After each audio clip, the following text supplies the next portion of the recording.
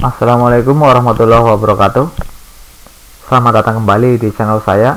Pada video kali ini Saya akan mengulas sebuah materi yaitu Materi tentang descriptive text Sebelum saya mulai eh, Saya ingatkan kepada kalian Untuk menyimak video ini sampai selesai Sehingga kalian bisa memahami materi ini dengan eh, lebih mendalam Baik, saya akan mulai dengan pengertian apa itu descriptive text.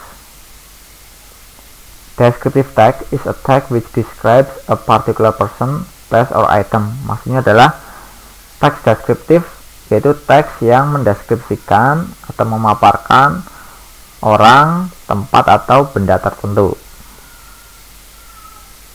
Teks deskriptif ini bisa mencakup orang, tempat, atau benda ya. Kemudian structure of descriptive text atau struktur yang ada dalam teks deskriptif. Yang pertama identification. Identification ini isinya adalah mengidentify ya, memperkenalkan orang, tempat atau objek yang akan dideskripsikan. Ini biasanya muncul di bagian awal dalam teks tersebut.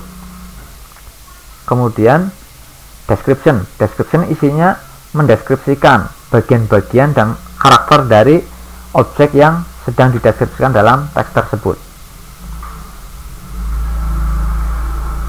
Ini adalah salah satu, salah satu contoh deskriptif teks tentang tempat ya. Nah, mari kita analisis uh, strukturnya ya. Nah, dalam teks ini border tempel adalah identification. Ya, jadi paragraf kedua dan ketiga ini nanti isinya mendeskripsikan eh, bagian-bagian uh, dan karakter dari Borobudur Temple.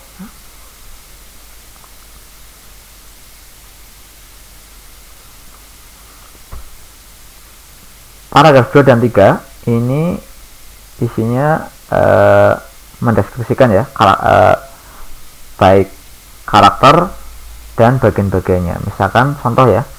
Saya ambil contoh temple is constructed on a hill 46 meter high and consists of 8 step like stone terrace ya. Jadi temple itu dibangun pada sebuah bukit dengan ketinggian 46 meter dan memiliki 8 step memiliki 8 eh, tingkat ya.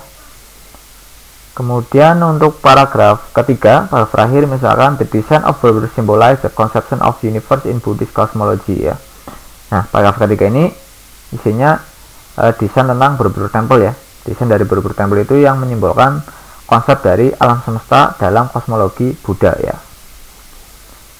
Itu uh, salah satu contoh deskriptif teks tentang tempat ya. Jadi saya ulang intinya dalam teks deskriptif adalah mencangkup identification. Identification itu objek yang akan dideskripsikan atau objek yang dideskripsikan dalam teks tersebut ya. Ini di bagian awal. Ini maksudnya di bagian awal ya. Nah dalam teks ini adalah buru-buru sebagai identifikasinya.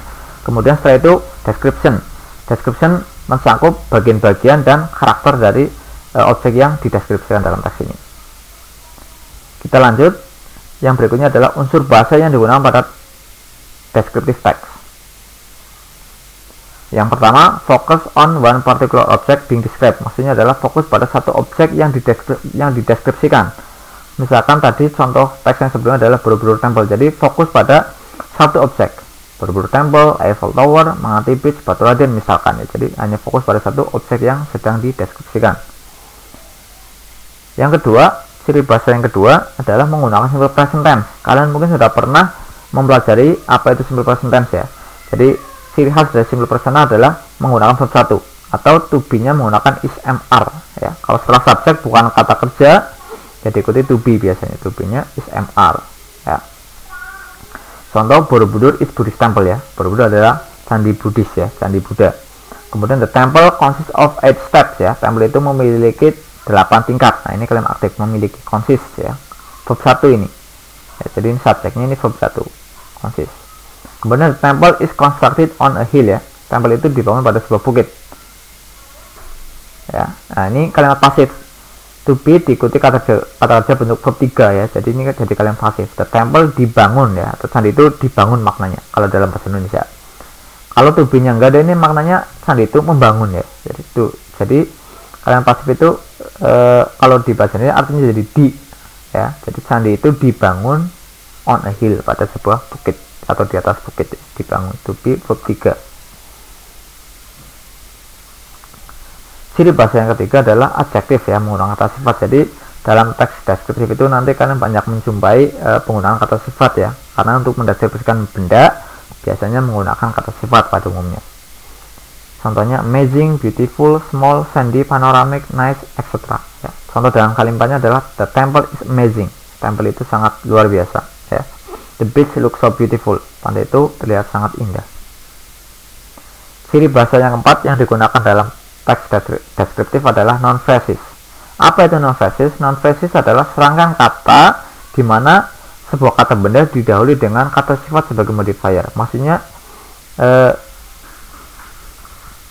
non-phrase kata benda yang dimodif menggunakan kata sifat, di mana kata sifat itu diletakkan sebelum kata benda yang eh, dimodif itu ya. Contohnya modern white house ya kata benda adalah house. Rumah itu kata benda kan? Kemudian modern dan white itu kata sifat ya. Jadi modern dan white ini menerangkan kata atau memodifikasi kata house. Jadi modern white house kalau diterjemahkan menjadi rumah putih yang modern atau rumah berwarna putih yang modern. Jadi modern dan white ini menerangkan kata house. Contoh berikutnya beautiful view.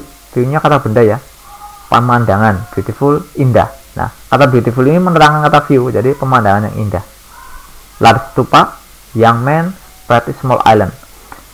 Bisa juga non-phrase ini dalam satu non-phrase kata sifatnya lebih dari satu. Misalkan island ini adalah kata bendanya ya.